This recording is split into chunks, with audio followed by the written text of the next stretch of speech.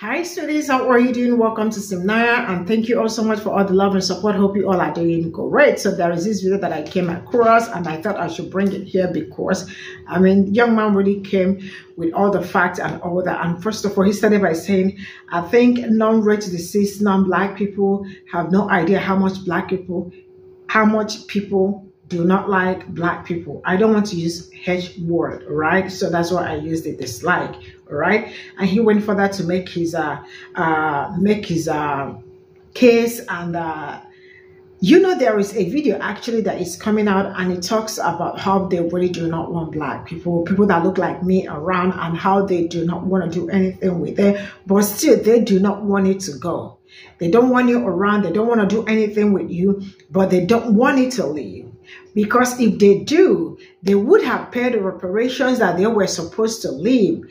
And so for that reason, that reparation has been hanging for as heaven knows why, where, how long it's been hanging to this very moment. Now there is a point that she, the young the young lady who actually backed the stitch up said that uh, her points were to the season without racist, the strange career of Jim Crow, the new Jim Crow, 13 documentary, stamped from the beginning book and documentary.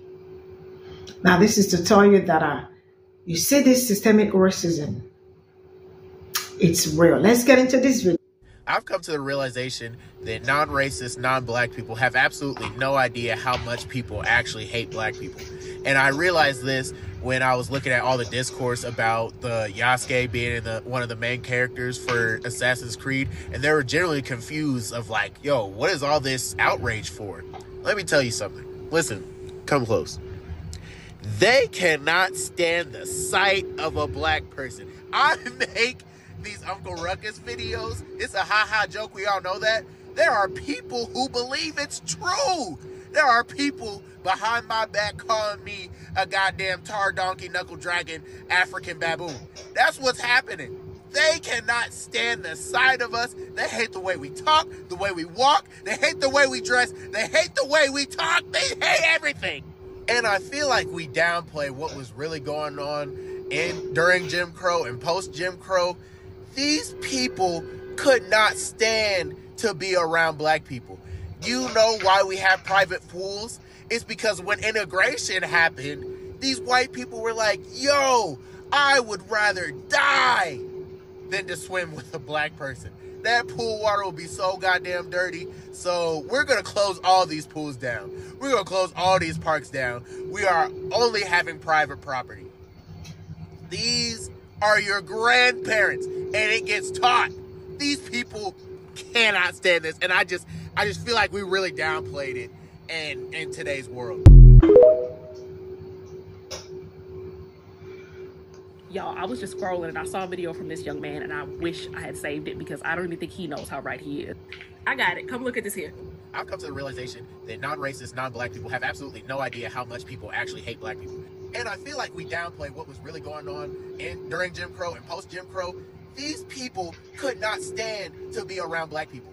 You're absolutely right. People have no idea. Support from non-racist people seems like real iffy sometimes because they haven't even accepted how bad racism is. Here are a few examples. If you black, take a deep breath, okay? I've made a list. The men who killed Emmett Till did an interview in Look magazine bragging about what they did.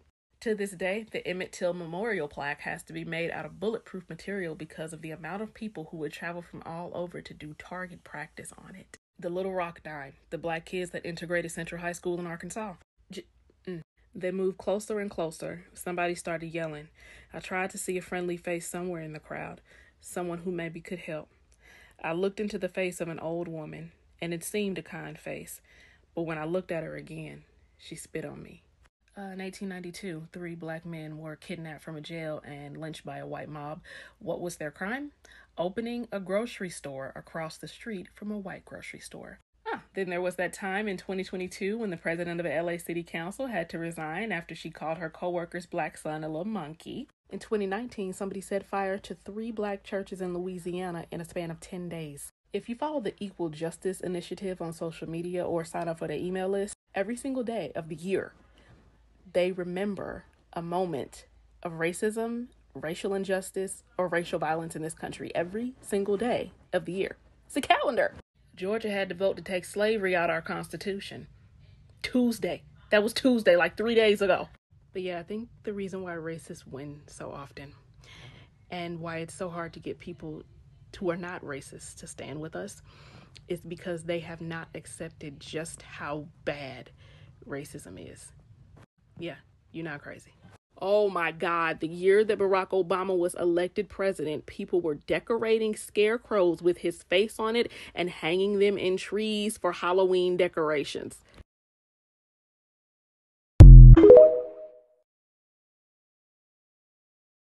My main concern is that we don't have the authority to stop them at the river. Because once those illegals get in here, we, I think I saw all, uh, Washington Examiner estimated back in October that over 10 million illegal aliens have entered the country. If just one in 10 of those, so 10 million, have a child that is born in the United States, that child will be a U.S. citizen. That citizen will be able to vote in 18 to 20, 20 years. We will not win elections past 2040 if we allow this to happen. Good morning. So, yet again, the GOP is out here telling you what they're trying to do with legislation currently because they're playing the long game for future elections. This is how Project 2025 is becoming a real thing because they've been planning and planning and planning, and they will take as many L's as possible, but they're going to be consistent to make sure that they continue to disenfranchise people who are marginalized in this country. That includes black people, people of color, um, immigrants. Um, that includes the LGBTQ, that includes the disabled. They're not hiding it. They're really not. And so when people are getting out here talking about, I'm going to just sit out of this election, I can't morally vote for Joe Biden, but you have an entire party talking about disenfranchising people who are not white, who are not Christian, who are not straight, who are not male. They're gathering, they're recording themselves talking about this, and they're showing you. Yet people are upset on these platforms, getting mad at people like myself, talking about what it is that they're trying to do, giving you the information, saying that we are fear mongering. No, we're not. And it says a whole lot that you're mad at the people who are sounding the alarm versus the people who are responsible for the alarm ringing in the first place. Y'all keep playing with this election like we don't have other issues. Also, I want to say these are not the Democrats being the same as the Republicans. They're not having meetings about disenfranchisement. So this is all I got from the stitches, and as sincerely speaking people really do not understand it when black people are saying it. But the reality is that uh, non-racist, non-black people have no idea how much people do not like black people, and that is absolutely true. The fact that, uh, but I just want to ask, why is it that uh, black people are not accepted anywhere? I mean, like, it is very rare to see a country that is open for, like, you know, black people or where black people can go without being discriminated, without being judged, without being stereotyped, and all that. It is really, it's really crazy, you know? Having to experience this day in, day out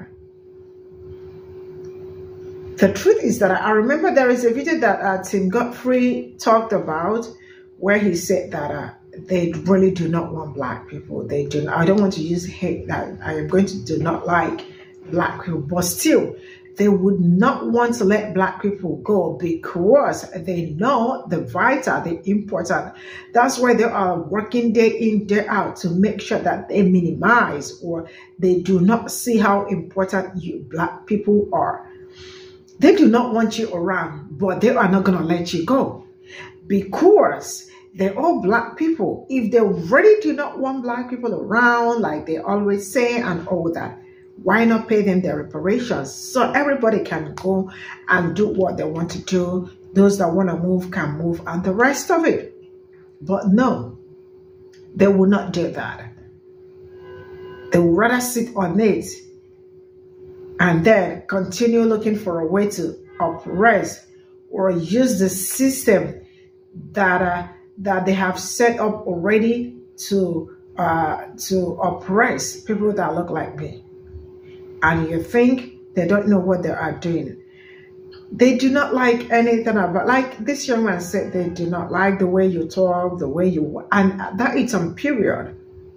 The way you also find strength, the way you work hard and all that. That's why all of a sudden I started hearing something like, black people are lazy people. Black people do not work hard. Then, why saying that? I also learned that uh, they are not intellectually smart to handle bigger positions, that they are only good when it comes to labor, anything that got to do with strength. It was at that point that I knew that uh, they knew what they are doing. They knew what they are doing. And this is where I am going to draw the curtain. Thank you so much and see you all in my next video. Bye for now.